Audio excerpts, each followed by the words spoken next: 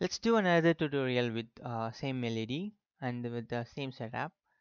So let's say um, we'll create a so for this uh, we'll use a PWM pin from the Arduino. So I'm going to use the PWM pin and go on and click for slider gain here and search for slider button. So I got the slider gain and I need a input for this that is a constant input. So I'm going to pick up a constant input for this. So that's it. Connect everything. So as usual uh, so we have connected our LED to the third pin of Arduino.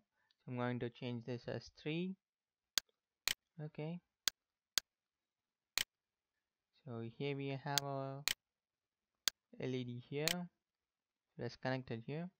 And I'm going to uh, change the slider gain from 255 close.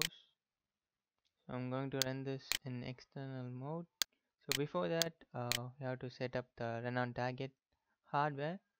Uh, go to prepare to run.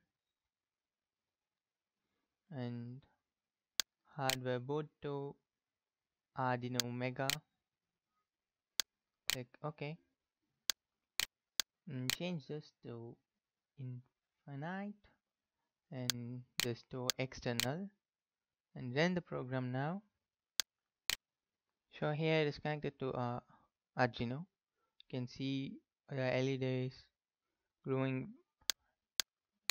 less brighter. It's because of the lower gain here. So I'm choosing to 0 so now it is 0 I'm going to make the gain to higher.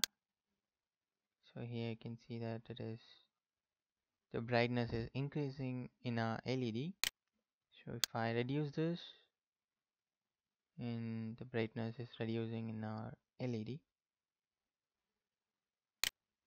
so that's it for this uh, tutorial. And we'll end up this uh, tutorial here